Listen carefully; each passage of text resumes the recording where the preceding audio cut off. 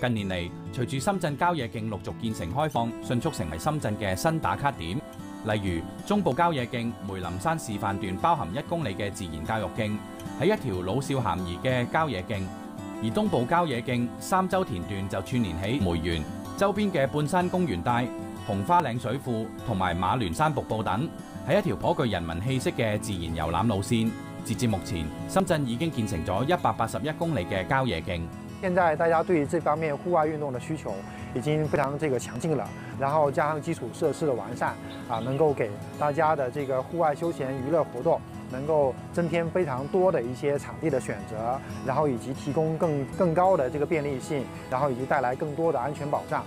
根据深圳市政府工作报告，今年将会构建多层次户外休闲步道体系，以纯生态方式打造一批精品郊野径，令市民更好咁参与户外休闲、亲近自然生态、体验山海美景。按照呃水泥步道零增长、生生物生命物种零破坏、生态环境零冲击的一个三零原则进行一个开发建设，采用纯手工的一个呃制作方法。目前，深圳市城管同综合执法局正统筹紧全市开展郊野径线路勘踏、明确标识体例等工作。线路勘踏完成后，仲将会通过考虑城市节点、历史建筑、自然景观等因素，选取一批精品郊野径。到二零二五年，深圳将会构建一千公里嘅郊野径系统。